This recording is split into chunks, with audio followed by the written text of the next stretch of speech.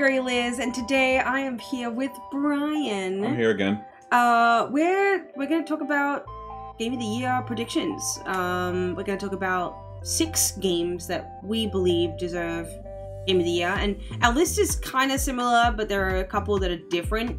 Mhm. Um, so we're just gonna talk about it and kind of just a little explanation of like why we believe it's yeah. Also, I want to. I want to caveat. Today is November the 17th, so Tomorrow. tomorrow Jeff Keighley is going to be actually announcing what the categories are and what the nominees are. So this is going to kind of our prediction for what we think is going to be in the categories, and we'll probably do another video about who was actually going to win Game of the Year. But So I think how we should do it, we'll talk about the similar sixes of our choices, and then at the end of it, we'll probably do a realistic um, a realistic prediction. prediction on what will actually be Yeah. nominated. Let's just say these are the, uh, our top six experiences of gaming, whether playing or watching each other play, because there are games that she played that I didn't, but I can recognize the greatness. versa. Yeah. All right, so let's start off with Wukong. That's a that's an obvious one for me. Um, I've finished that game. I'm very close to platinum. I'm on my second playthrough. I just got to Erlang, and I'm not having a good time. Uh, but Wukong for me, it's just. Uh, it was really different. It was graphically amazing. I feel like it was the most purposeful game that was created this year. Purposeful in a sense where like everything had meaning. The bosses had meaning, the atmosphere had meaning, the music had meaning, just everything was Story. perfect. Story, of course.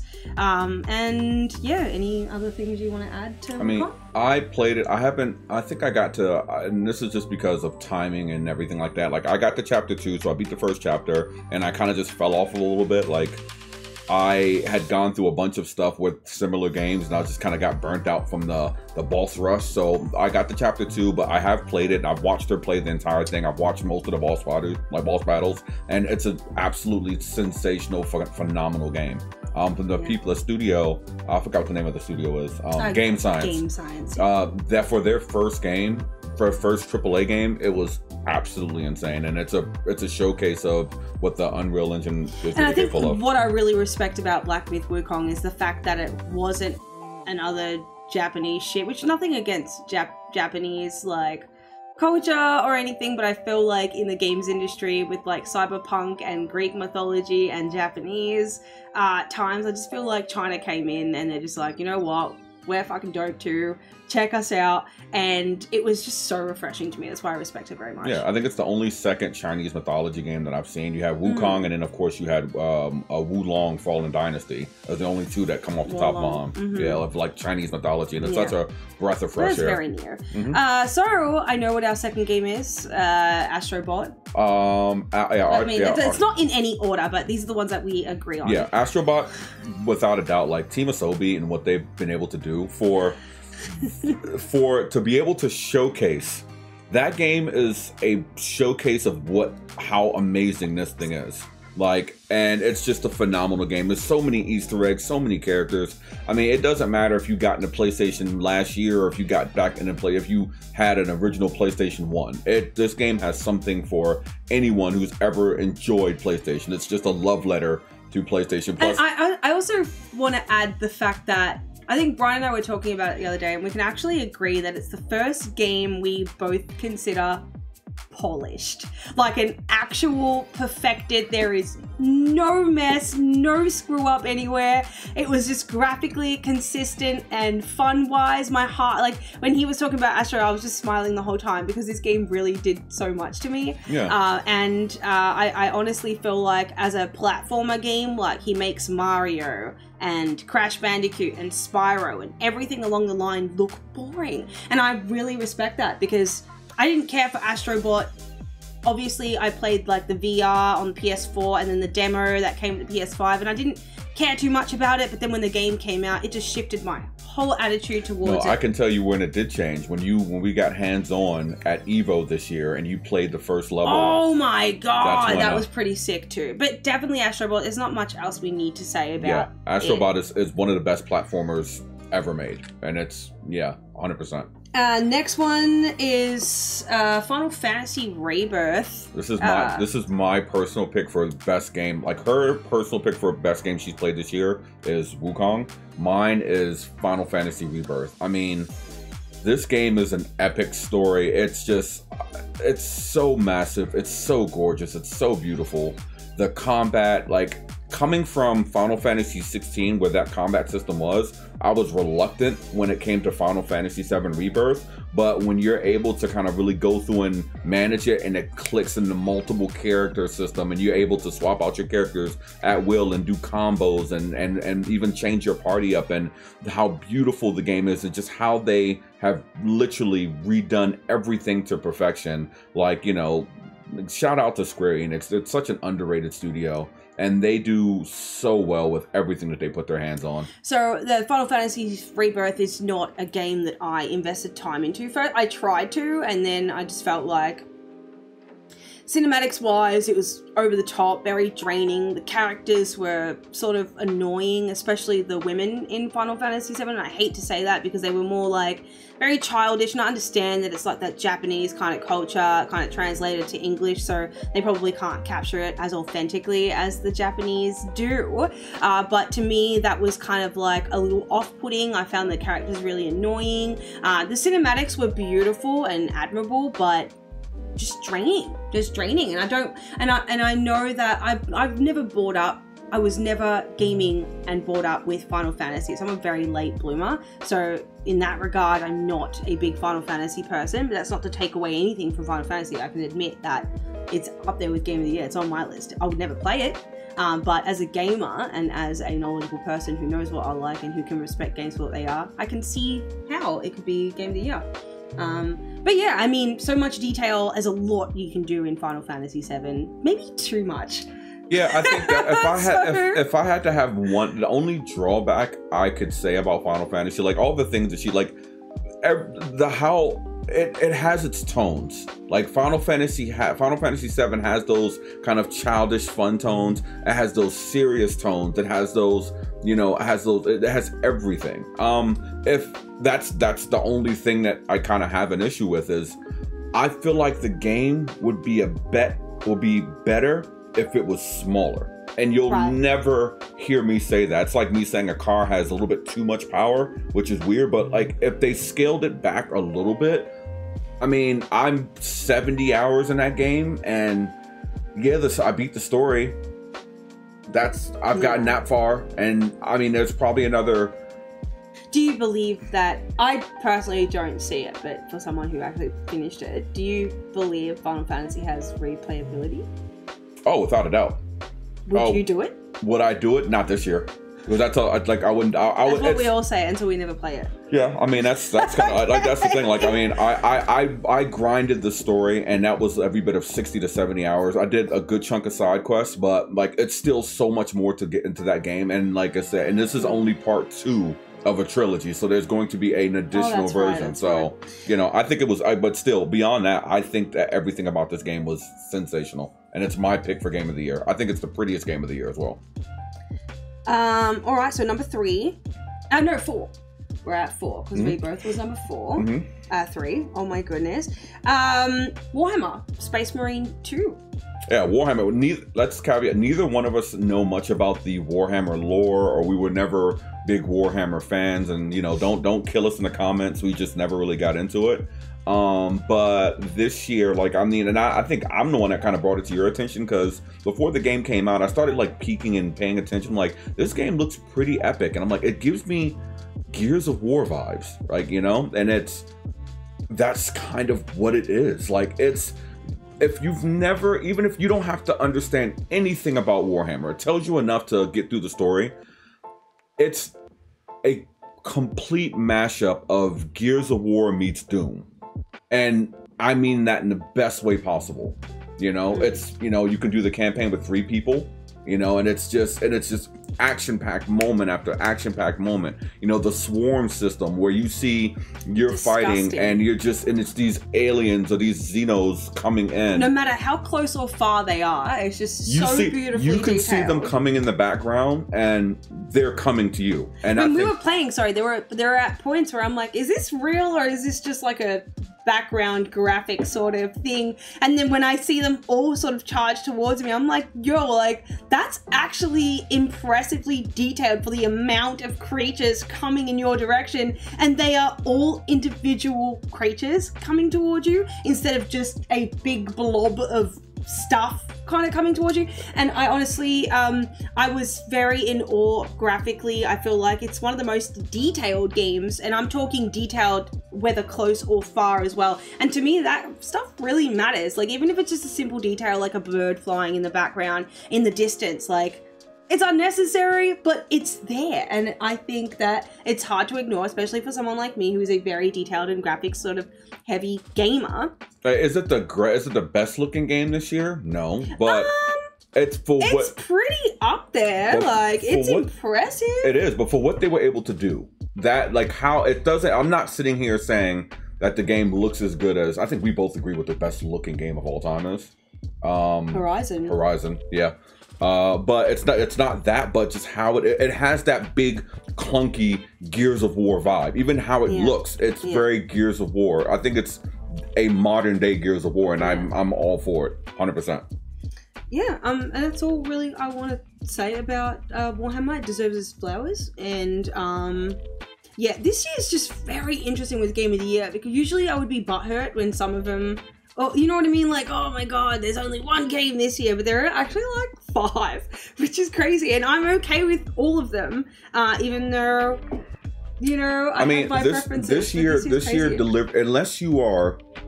I'm gonna say this unless you're a racing game fan. This has probably been the greatest year for whatever category of games that you play because this year Everything. deli- this year got a little bit of delivered from on everything. everything. If you're a Mhm. fighting game fan, this year's been the best year for fighting games in a long time. If you're an RPG fan, if you're a horror fan, it doesn't matter. This year has delivered on all accounts. All right, so this is where Brian and I differ. So we've got two more because we're going for six for Game of the Year, and my two are different to Brian's two.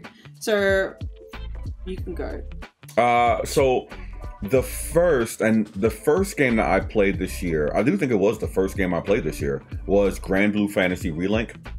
Absolutely love that game. Um, kind of has hints of Monster Hunter, a little bit of hints of Final Fantasy. Got that? It's an action RPG. Story's kind of wacky, but there are some moments in the combat where you're just like, whoa. I can't believe this is going down. It's multiplayer as well. I mean, you have your, you have, it's, it's, you have but I don't. They've been adding characters. I can't tell you how many characters there are, but each character has a different weapon set. That you know, that's how you play, and whatever one you like, you have. You, you're fighting monsters. You're. It's just a sensational game, and that was my first gaming experience this year, and it kicked off. I actually played it as well. I never finished it. I know you finished it. Yeah. I've never finished it, and I really respected how different it was. I'm not a really anime sort of JRPG type person because I find that they're all sort of the same and they don't have anything like ex- extravagant to me. Um, but Granblue really like flipped that on me. I was like, damn, like I get it now. I understand why JRPGs are lit and Yeah. why they have such a a big respect and a big following of people. Um, and so my um, fifth one, I'm, I'm gonna say Black Ops Six. Now I'm I'm like I'm not a Call of Duty person at all, um, but I will be the first to admit that Call of Duty is one of, if not the biggest game in the world. You know, and not putting GTA aside when I'm talking about GTA, but like Call of Duty is humongous, okay? And I've played every single one of them, not all the way through because they all felt like the same. But I feel like with Black Ops Six, as much as it was the same, it felt different and graphically enhanced and just a little bit more like a purposeful Black Ops rather than just rinsed and repeated same kind of stuff. I think graphically, I'm just constantly talking about how beautiful that game looks as well. Like, I can't even tell what's cinematic or what's Like it's- realistic, it's a- like it's- it's they took their time with it, and Really, it's just really like cool. you know, kudos. to. Zombies is also super dope too. Like it actually added some extra funk to it. Um, the online again, not something that I go out of my way to play because I'm a selfish gamer. I don't like playing with people. Leave me alone. Um, but I really respect Call of Duty, and I know that Call of Duty probably is not going to be the game of the year, but I feel like Black Ops Six is at least helping them get there.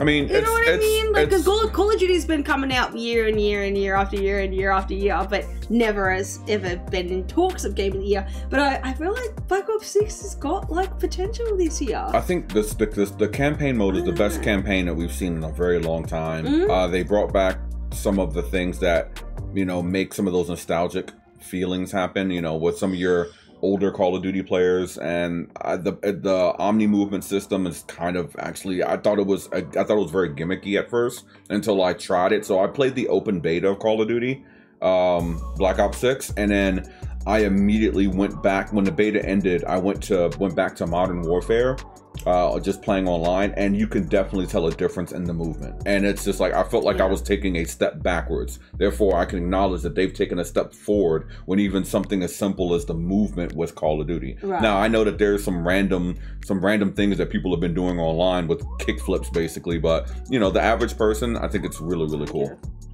Uh, and yeah, your last number No, your last one. Me first? Yeah.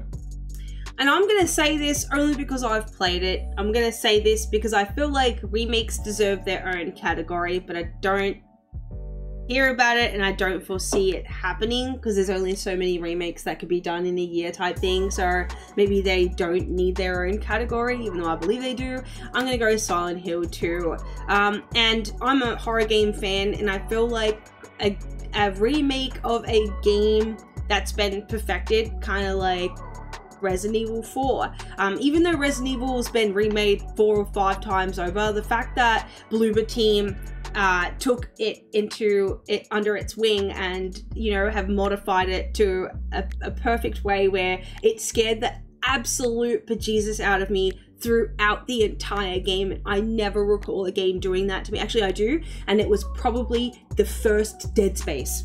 Mm. Like genuine, consistently shit myself type horror, and I really respect that because as a horror fan, nothing scares me.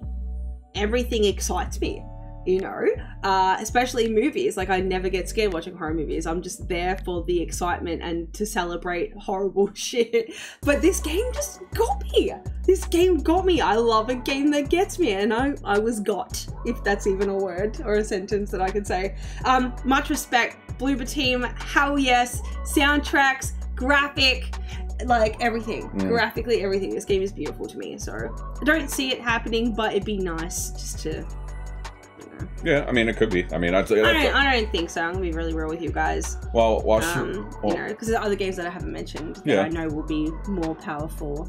yeah. Well, while she was getting the bejesus scared out of her, I was downstairs playing. Yes, Sparking Zero. Sparking Zero. Sparking Zero for me as a lifelong Dragon Ball, Dragon Ball Z, Dragon Ball GT. uh, It just gives me everything. I played the original Tenkaichi Budokai, the Budokai Tenkaichis, and I mean, it just has everything. Whatever you, what if you are a Dragon Ball fan? Dragon Ball over Tekken. Oh, without a doubt. Like Tekken was cool until Dragon Ball came out. Like Tekken is great because No. Tekken was good because oh man, it was like I feel like I'm playing an anime when I'm playing Tekken. Dragon Ball, you are playing an anime as you're playing. Like, I mean, it brings back characters from my childhood. Like, my tag team is Janemba and Cooler and Kid Gohan. Like, I couldn't have done that anywhere else, you know. Along, but now I can add my newer favorite characters like Goku Black. It's just, it's everything. I love the even the what if scenarios where how they take the story that you know and love and then add what ifs to it. Like if you go in a different path, like, well, what happens if Gohan beat Frieza when he came to Earth? When how does that whole story plan out? To spoiler alert, it leads to instead of it being a Goku Black, is a Gohan Black, and it's just absolutely insane. Sounds kind of hot. I like Goku Black. Yeah, that's what I'm like, and it's just so as far as like, I mean, for fighting game, it's is it balanced? No, don't care. I, I don't care. If I want to play a balanced fighting game, I'll go play something else. But as a fun fighting game, it's not just the best fighting game to come out this year. For me, it's one of the best games of the year, which is why it goes in that category. So, Uh, So, Ryan. do you have an Uh, honorable mention for this year? Oh, hell yes. You. I, I have two honorable mentions, and my second honorable mention is what he's going to talk about. But my honorable mention of 2024 is Stellar Blade. Now, I have to express to you just really quickly, because I know this video is dragged on, why I respect this game so much. I was very at the beginning like, oh my god, fan service, they're gonna over sexualize women and it's gonna piss me off. And you know, why are her tits so jiggly? It's unrealistic, it doesn't even make sense, and it's stupid, and her ass is annoying, and it drops like tits, and it just pissed me off. I'm gonna be really blunt. And then um, played the demo, and I. I was shocked how sick this game was. So anyway, the game came out and I finished it. Okay, I finished the game and then I played it Again, two times on top of it, back to back. Now, story wise, shit! Dumb! The word Naytiba was annoying and just. what about Alpha Naytiba? Shut up! No, it was it was really stupid. But the fact that you got to play as a badass Barbie, I like to call Eve Barbie because you get to dress her up, and I I was just like, damn, this outfit is so revealing and so over the top and over sexualized, but it's so hot, and I want to see her in more different outfits. And the fact that this game fully did a 360 on me with how I felt about it, as opposed to what I really feel about it now. Um, Blade is the only game besides the Tomb Raider reboot that I played multiple times after finishing it, and I just respect that so much. Soundtrack, oh my god, I listen to um, the, the Eidos 7 soundtrack almost every day. Every day. I love it. I love Every it. day. I love it. Uh, so yeah, Stellar Blade is my honorable mention. Um, mine is a game that nobody talks about, but it came out this year, and I don't know what the ratings were, maybe sevens or eights or whatever. But I think that this game absolutely deserves its flowers, and that's Rise of the Ronin from Team Ninja.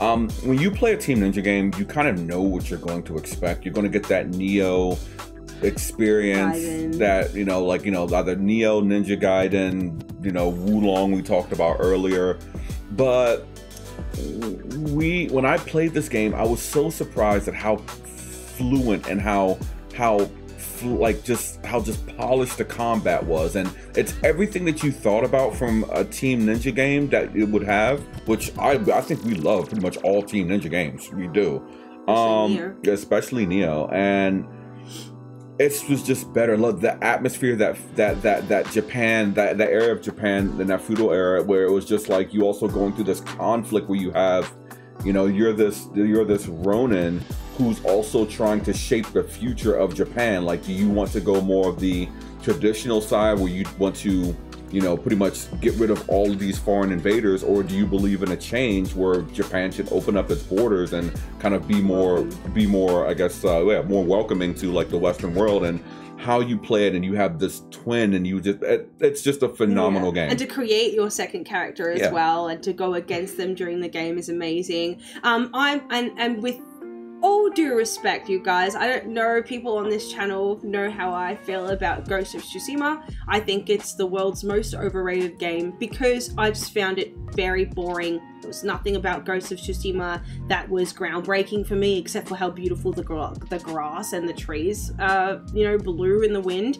Um, but beyond that, I feel like Rise of the Ronin was the Ghost of Tsushima game I never got. I think Rise of the Ronin was a better game. Like I like uh, I don't think we've ever played Ghost of Tsushima. I've, no, you've played. I, I watched. I, wa- I finished. I watched Yeah. you play it, and But it took like me three months to finish a game, and that doesn't take me that long to finish a game. It's It's, kind of like that Assassin's Creed, where I'm just like, Yeah. it's so repetitive It's that I so- don't, but I'm not in a rush to really know what's going on. it's also so it's so fun because you know just like how the combat is and just how the play how the gameplay is. I mean, you could be gliding on your little glider and then On the see it- horse, you know. on the horse and then you see a point of interest you go you do your little hook thing you go up in the air you fly you jump down you kill an enemy and just keep going and it's just It was it's- very it's fluent. very fluent yeah very, fluent, I so. really respected that. All right, B. So to close off this video, um, what are the realistic? Just give me. We can look at our list here. Just at the top of your head, give me the actual, not Brian. What's what's gonna happen? Type shit. uh top top six Yep. um apparently there's some controversy with wukong i haven't looked it up but i don't really care uh wukong final fantasy VII, um astrobot metaphor ReFantazio